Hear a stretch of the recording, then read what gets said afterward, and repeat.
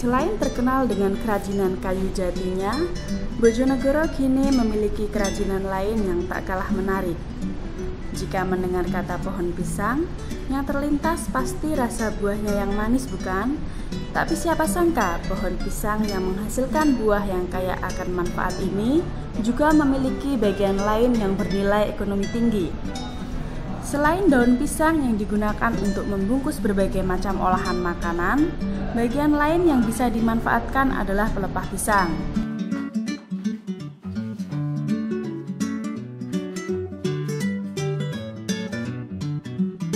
Ya, pelepah pisang yang dahulu dipandang sebelah mata oleh masyarakat, kini melalui tangan terampil Balen Tim Kreatif Desa Balen Rejo Kecamatan Balen Pelepah pisang disulap menjadi berbagai macam kerajinan dengan nilai ekonomi tinggi.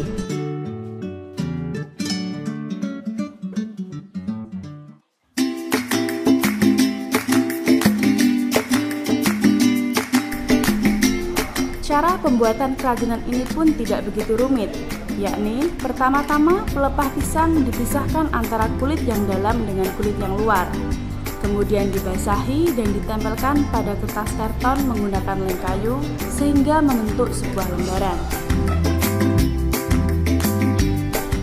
Dan dari lembaran itulah dibentuk pola dan dipotong sesuai bentuk yang diinginkan. Dari potongan pola, kemudian dilem sehingga jadi bentuk yang diinginkan. Melalui ide kreatif Maisir selaku ketua tim Balen Kreatif, penghasilan masyarakat sekitar pun ikut bertambah karena masyarakat bisa ikut dalam komunitas pengrajin ini. Balenting Kreatif memiliki empat kelompok pengrajin yang masing-masing kelompok terdiri dari tujuh orang. Nah, untuk awal pembuatan kerajinan ini eh, lebih kurangnya tahun 2014an tapi awal-awal kalau awal tahun 2014 gitu itu masih saya buat sendiri. Jadi masih ya banyak kendala lah ya termasuk dapat pesanan banyak. Tapi eh, kan nggak mungkin saya kerja sendiri. Akhirnya eh, saya punya eh, pikiran gimana kalau saya ngajarkan ini ke tetangga mungkin ya ternyata. Ya kendalanya pertama itu ya yang pertama pertama itu pertama ya uh, untuk SDM ya mungkin kan untuk pelaku seni ini masih jarang dikunjungi. Dan uh, orang masyarakat lah umumnya kalau dikasih tahu kita buat produk yang ada nilai seninya mereka ada males soalnya ya sedikit belum tahu untuk penjualannya. Jadi uh, untuk kendala pertama itu pengembangan SDM nah, pengembangan SDM itu harus diberikan juga dengan kita harus punya ya minimal punya modal ya. Modal itu kan kalau kita nyuruh ke pengrajin untuk membuat contoh seperti barang seperti ini ya itu kalau dari pengrajin kan saya maunya langsung tak beli. Maksudnya dapat upahnya lah langsung. Jadi saya pengepulnya ya, saran produk ini uh, kita sudah menjual ke beberapa kota-kota besar ya. Kalau Jawa Timur untuk Jawa Timur sudah hampir pernah kayaknya akan ke rumah tapi ini untuk yang kota-kota besar kayak uh, Surabaya sudah pernah terus ke Bali juga sudah pernah. Ada yang pesen ke Jakarta terus ke Bandung.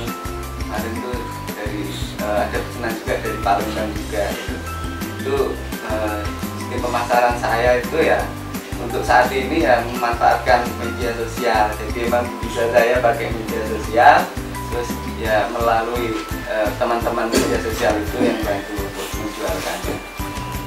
Uh, harapan saya ke depan untuk uh, produk saya ini ya minimal maksudnya untuk ke depan minimal bisa jadi salah satu ikon kota Bojonegoro. Jadi selama ini Bojonegoro ya mungkin sudah identik sama buahnya jadi ledre ini pelepahnya yang biasanya di ambil sama orang luar Bojonegoro kita manfaatkan sendiri jadi produk unggulan Bojonegoro jadi ke depannya bisa jadi salah satu ikon produk Bojonegoro harga jual yang ditawarkan pun cukup bersahabat yakni vas bunga, tempat tisu, dan kap lampu dibanderol dengan harga Rp25.000 sampai dengan Rp35.000.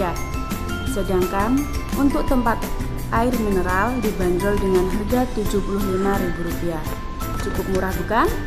Jadi jika Anda berkunjung ke Bojonegoro, jangan lupa mengunjungi Balentin Kreatif untuk mendapatkan berbagai macam produk yang unik dengan harga yang menarik.